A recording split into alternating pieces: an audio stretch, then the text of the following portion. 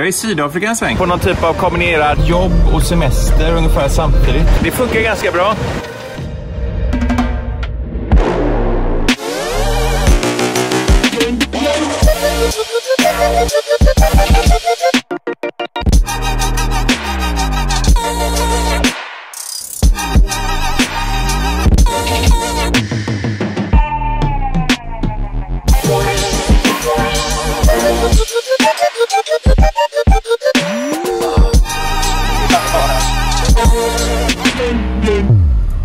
Jag är här av många olika anledningar.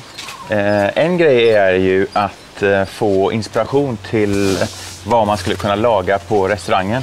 Jag vet ju att de gör så jäkla mycket bra. De är bra på kött, fisk, soppor, vegetariskt. Jag var på en matmarknad igår. Den var liksom streetfood-betonad, eh, eller den var, det var streetfood. Jag blev lite så här, kanske det man ska köra på restaurangen. För det är, liksom, det är så jädra gott. Man vill äta precis allting. Och så kanske man har så här olika små rätter som bara är sköna att käka. Liksom.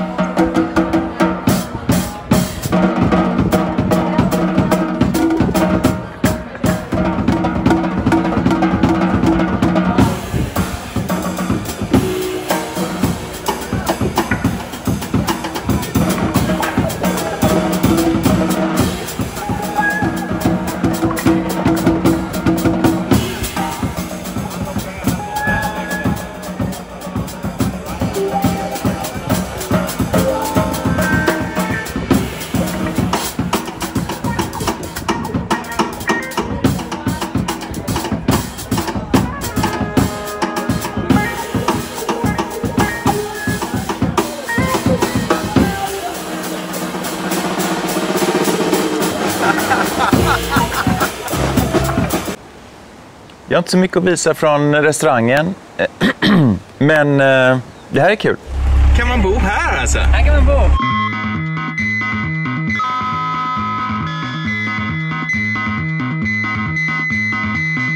Det är asgrymt! Men det här är helt nytt. Det här, den här utbyggnaden är ny. Men det är här man vill vara också. Den här var ju jävligt cool. Den här är sjukt härlig. Åh! Det är så man ska ha det. Ja. Ja, har du gjort det här? Lisa har gjort det.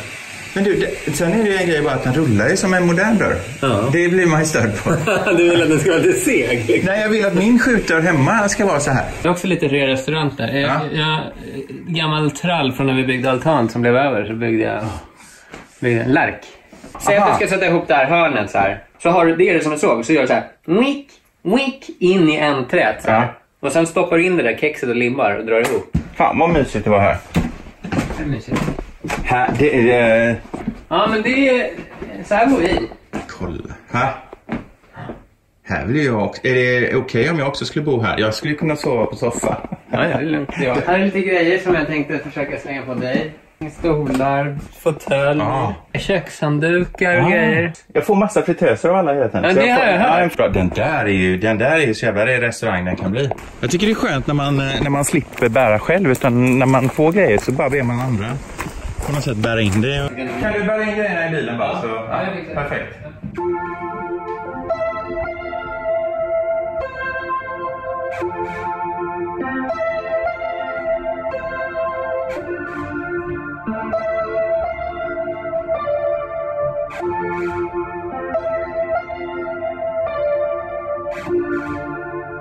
Du behöver inga högtalare. Jo, Alltså, men, men jag ska inte ta något som du... ja, men grejen är så här. Jag har, på, jag, har använt, jag har inte använt de här nu på tio år. Liksom. Ja. Jag har lärt mig någonting att allting som är tungt är oftast bra kvalitet. Ja. Eh, Stämmer inte det? Jo, Jag allting tycker- i världen. Allting, allting i hela världen. Därför är jag också lite tung. Underlägg, vill du ha dem? Kolla här. Bordsdukar. Servetter. RGB-lysrör. Äh, du skämtar vad coolt. Och jag har så jävla många. Instincts going no, looking bad like a bat with an eye patch. All black through the woods with a backpack and a lit match. Spark one time, get the whole city looking. Är du hungrig eller? Har du fått lunch? Ja, jag... jag eh, nej, men eh, du behöver inte stå och läsa käk. Jag har en omelett. Ja, fort. Fem minuter. Är du bra på det eller? De är rätt goda. ja. Men jag har en specialare nu som jag kör som är lite så här äh, antiinflammatorisk. Ja, men det kör vi. Mm. Ska du ha den här? Vad tog du fram nu? Nu tog jag fram Tomater. mina sista... Nej, vänta, jag ska... Kom, vi går till trädgårdslandet. Kolla här. Alltså det här blir som ett jävla så här Ernst-program liksom. Det här är en annan. Grönkål. Kan man äta lite av den? Man kanske kan ha grönkål i omeletten. Jag tar en, en kvist. En kvist grönkål. Får några till. När grejer inte är helt perfekta, det är då de är som bäst. De här är från västkusten. För jag gillade de här. Så mm. vårt förra hus så gjorde vi en entré. Då använde vi dem till... gjorde vi fönster där då. Ja, Som vi renoverade upp. Liksom. Fattar du jobbet att göra de här bara? Ja, det är så sjukt mycket. Det är väldigt fint att ha det så, ett öppet tak. Liksom. Det här glaset är så coolt tycker jag. Space glaze. glaze. Persilja. Vad sa du? Nu gör vi trädgårdsprogram. Vad sa du? Nej men alla tv-program gör ju så här. De går ut och hämtar så käckt i trädgården. Och sen när man ska göra det själv så märker man att allting har ruttnat och möglat i sin egen trädgård.